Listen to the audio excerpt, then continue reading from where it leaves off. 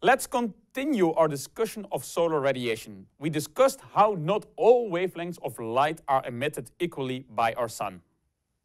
The spectral power emission, or spectral radiance, is defined as the radiated power per unit wavelength.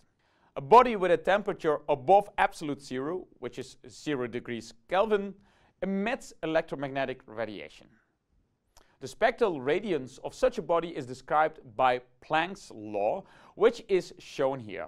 Planck's law assumes that the body is a black body. A black body absorbs all the radiation that is incident on it.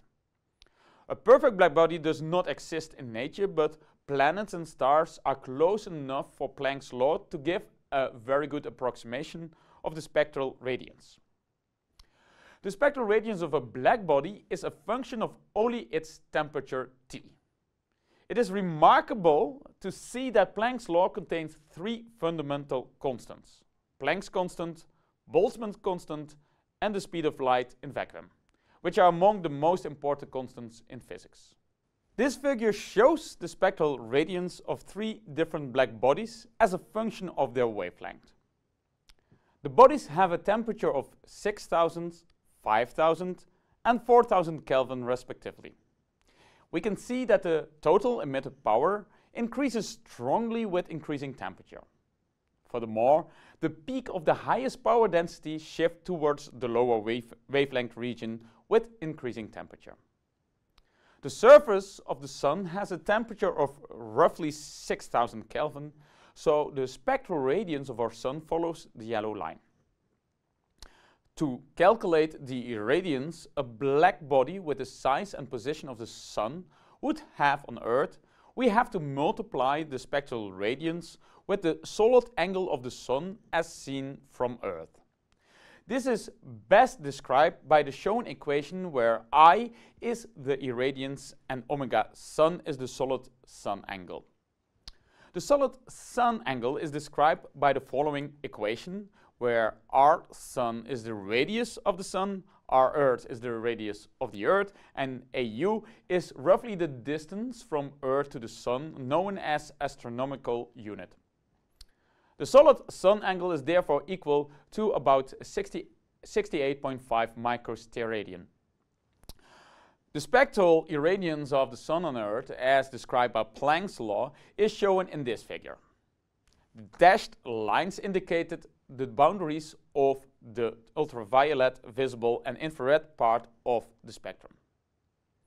If we now introduce the empirical data on the spectral solar irradiance, we can see that Planck's law gives a very good approximation. Only in the visible part of the spectrum is the irradiance underestimated. The red curve shows the spectral irradiance outside of Earth's atmosphere. This spectrum is known as the AM0 spectrum. If we look at the spectral irradiance on the surface of the Earth, we can see that the irradiance is significantly lower. The shown spectrum is known as the AM1.5 spectrum. It includes absorption of light by particles in Earth's atmosphere. Let's look at this absorption in some more detail. A large fraction of the visible and ultraviolet light is absorbed, while in the infrared part of the spectrum, the absorption is more concentrated. These absorption bands are caused by specific molecules in the Earth's atmosphere. Most bands are caused due to the light absorption by water molecules. But absorption is also caused by carbon dioxide, oxygen and ozone.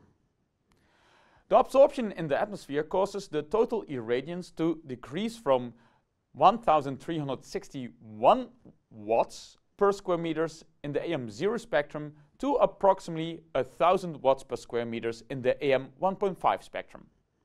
The latter is known as one sun illumination. As we have just discussed, solar radiation passing through Earth's atmosphere is attenuated. The most important parameter that determines the solar irradiance under clear sky condition is the distance that the sun has to travel through the atmosphere. This distance is shortest when the sun is at the zenith, so directly overhead. The ratio of an actual path length of the sunlight to this minimal distance is known as the optical air mass. The figure shows the sun and its zenith position. As it illuminates Earth, light travels through the four main layers of Earth's atmosphere. Excluding the exosphere, these layers are the troposphere, stratosphere, and mesosphere, and thermosphere. With the Sun at its zenith position, the optical air mass is unity, and the spectrum is called AM1. In space, no atmosphere is tra traversed, so the spectrum is known as AM0.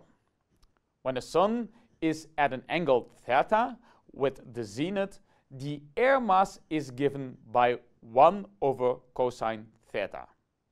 When the sun is, for example, at an angle of 60 degrees with the zenith, we receive an AM2 spectrum.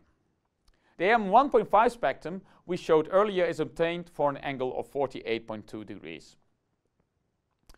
How much power is actually incident on a specific surface varies with the time of day, with the seasons and the position on Earth. This figure shows the average global hor horizontal irradiance, which is the power incident on a horizontal surface average over the entire year in kilowatt hour per square meters per day. While on average a solar panel in Northern Europe may only receive 3 kilowatt hours per square meter per day, Around the equator, this number can go up to 6 or 7. A more convenient way to express the irradiance per day are the daily equivalent sun hours, or ESH. An equivalent sun hour is defined as the number of hours of one sun illumination per day. Since one sun illumination is equal to 1 kilowatt per square meter, one daily equivalent sun hour is equal to 1 kilowatt hour per square meter per day. If you look, for instance, at this map of the Netherlands, which shows the yearly sum of irradiation for panels with an optimal tilt angle. Judging from the color distribution, we can assume an average yearly irradiation of about 1250 kilowatt hour per square meter per year. Dividing this amount by the number of days in a year, we find that the Netherlands receives on average about 3.4 kilowatt hours per square meter per day for optimal uh, tilted panels which means that it's about equivalent to 3.4 sun hours. In order to compare the performance of different types of solar cells in different locations, the cell temperature and irradiance have to be controlled. To that end, the standard test conditions are defined. These conditions are characterized by a total irradiance of 1000 watts per square meters, the AM1.5 spectrum and a cell temperature of 25 degrees Celsius. To measure a solar cell under a controlled AM1.5 spectrum, solar simulators are used, like the one shown in this picture. Solar simulator uses a special lamp or a set of lamps to mimic the AM1.5 spectrum as closely as possible.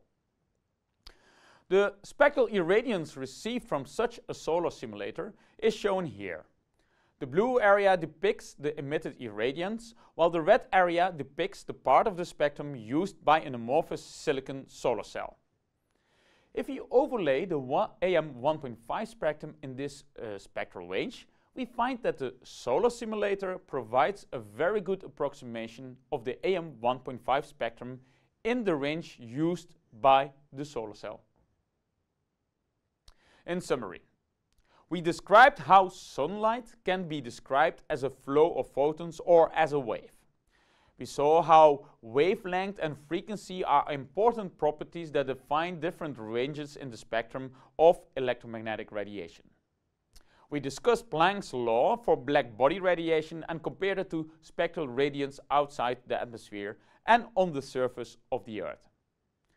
We discussed the concept of air mass. And finally, we defined the standard test conditions and solar simulators. In the next video, we will discuss the photovoltaic effect.